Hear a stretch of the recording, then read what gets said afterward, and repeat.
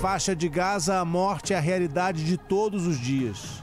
Os corpos que agora estão pelo meio da rua são de três pessoas que morreram no ataque israelense hoje no centro do território. Será que existe fantasma mais aterrorizante que a fome? O que dizer dessas filas diárias à espera de pão?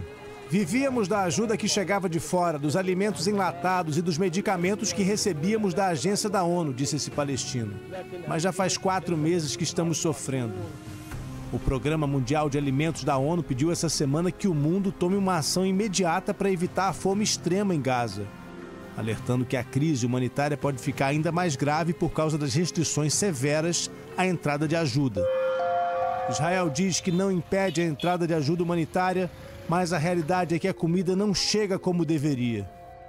E na Cisjordânia, o território palestino que teoricamente não está envolvido na guerra de Gaza, as escavadeiras israelenses voltaram a destruir as casas e a infraestrutura em áreas residenciais.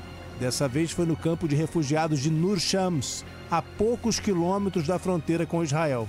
A estratégia aqui tem sido destruir as cidades para tornar a vida impraticável obrigando os palestinos a fugir. Em pouco mais de um ano de ataques, Israel já matou ao menos 766 palestinos e deixou mais de 6 mil feridos na Cisjordânia. Enquanto isso, no Irã, dois generais de alta patente disseram que o país planeja responder aos ataques recentes de Israel, ameaçando continuar o ciclo de ataques e contra-ataques que começou em abril. Seria trágico. Mas no Oriente Médio hoje tudo é possível. Nunca deixamos uma agressão sem resposta em 40 anos, disseram generais iranianos. Somos capazes de destruir tudo que os sionistas possuem com uma única operação. Será que isso é plano ou bravata do Irã?